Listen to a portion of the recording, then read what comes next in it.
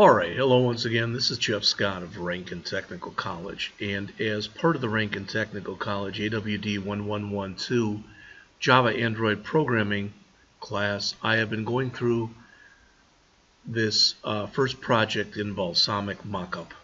And so far, I'm on about page 6 or 7, but I've gone through and I changed it to browser. Alright, so I have this. I positioned it on the page so it pretty much looked like this. Alright. Came in and put in the logo as we were supposed to do. Next came in and put in your company name. Now where I had a little problem here was they didn't tell us to do this or this or this yet. So they want us to come in and put in a horizontal separator under the logo text. In other words, they want one of these. So that's what I plan on doing next. Alright, so going back here, this is the way my project looks, and I was in here looking for horizontal separator.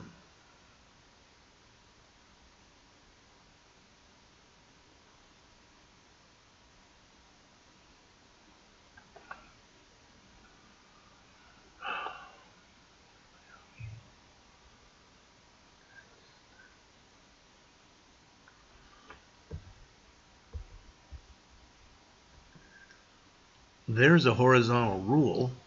Try grabbing one of those. Looks like it's right there. There we go. All right. So there that is, and I think that's correct. Oops. All right, and title to separate the header from the body context in the quick add box type rule, it will show you H dot rule and V dot rule. It stands for horizontal and vertical rule. Well, that was what I should have done. Select the H dot rule and insert the rule below the title and logo text by mouse drag. Using the handles, you can increase or decrease the size. Let's let's follow their lead here. So what I will do is I will come back here. I will remove this thing that I added, even though it might be correct. And in here, I'm going to type in rule. And I guess that was right. We want H rule. And yeah, I did it. I guess I did do it right. So.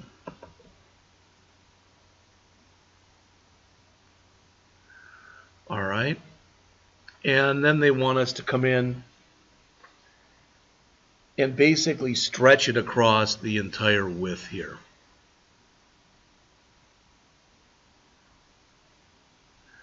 Now, even though they don't show it, I'm leaving a real little bit of area at each end. Theirs looks like it's pretty much all the way across. All right. Similarly, insert the products and services section using the UI controls block of text and title. There's block of text and title I've already done over here. So let's come in title and we'll put that over here. In fact, let's just double click. There we go, a big title. Put it over here. And this is going to say products and services. There it is. Okay. Now, again, you know this as well as I do. Is this perfect? Heck no. All right, but we're starting to, to, to it's starting to come into focus, whatever you want to call it. So let's grab this block of text. Let's put that down here.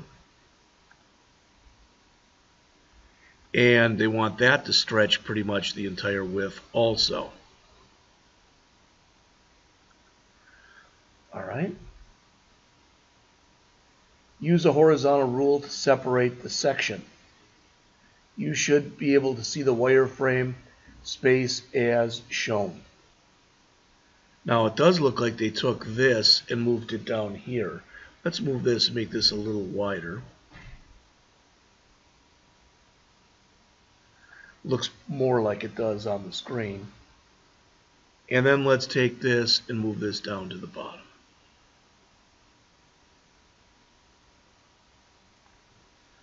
Right, again, is that perfect? Heck no. All right, but it's totally fine the way it is. Now looking on the next page, on page 9, it looks like that's back up there again. So that's fine. Let's do that.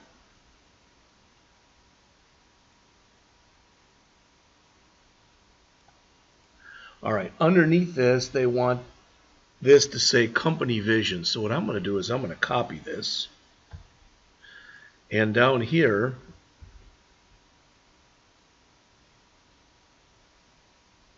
so it pretty much matches the other one. I'm going to put in company vision and I'm going to grab the text that's here, copy that, and I'm going to put that down here as well. All right. Says add a link bar on this page for navigational purposes.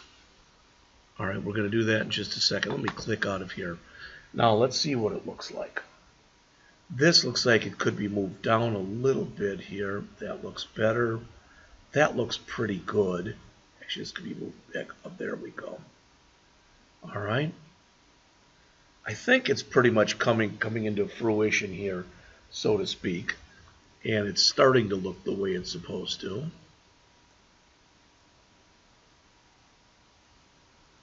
I'm liking the way it's looking. It's not at all perfect, but it's not bad either. All right, kind of like that. So we were supposed to add a link bar on the page. So let's find the link bar. There's a link. That's a link. We want a link bar. And there's a link bar right there. Okay, so that came out over here. And we want it to say home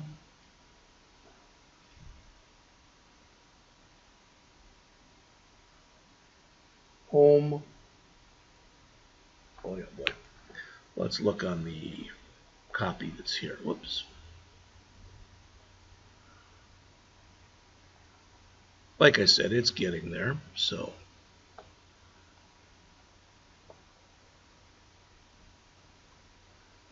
Home, products, about us, and contact us.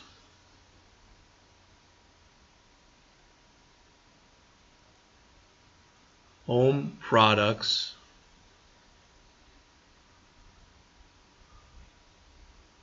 about us, and contact us. All right.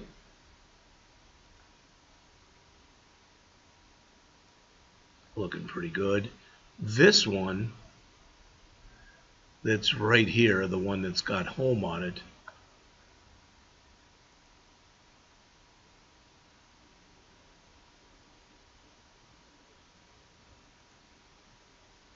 Thought that might happen.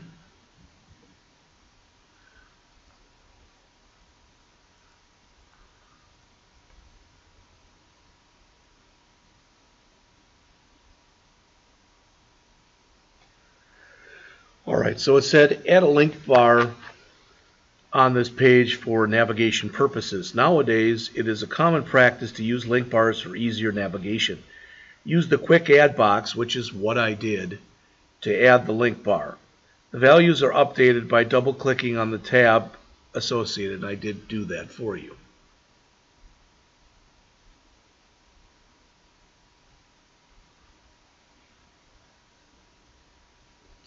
It says position this as shown. Looks like this should be moved over a bit.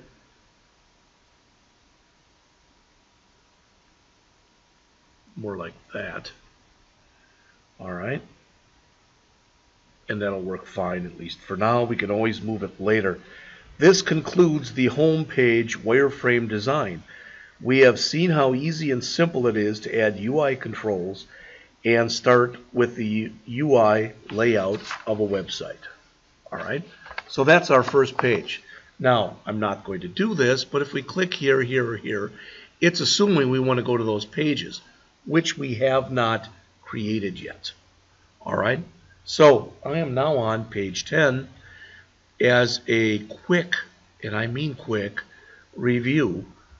We have gone through this first project, company website. We have been told it's going to have four pages, a home page, a products page, an about us page, contact us page. We started to build and we really built the home page. So we came in, opened up Balsamiq Mockup, put in browser, selected browser, set the size, the position XY, the width and height accordingly. All right, I didn't do this. It says using the zoom option above the UI library section. Set the zoom level to fit in window. And for whatever reason, that should have been up here, I thought. Or here. But I didn't see anything that said zoom. All right.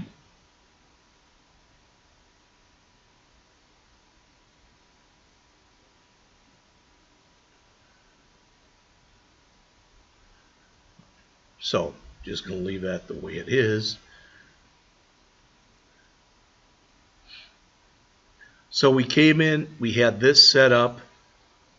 We started to create, we came in first by creating a logo for the company, and underneath it we put company logo.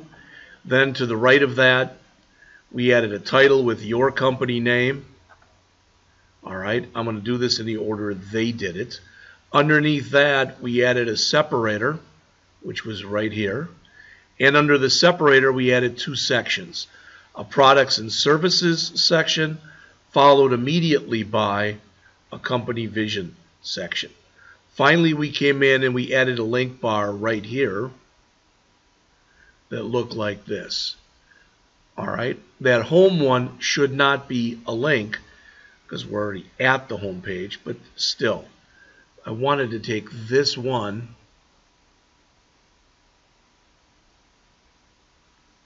I mean, I can click on the whole thing. Home.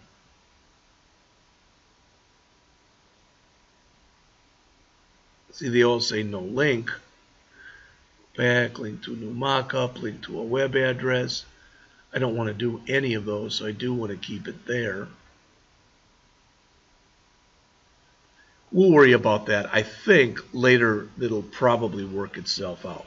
So it's time to go on to the second page of this, which is the product and services page. All right. I'm not going to do any of this stuff right now because I'm already at 13 minutes. So I'm going to come back and do the product and services page in our next lecture.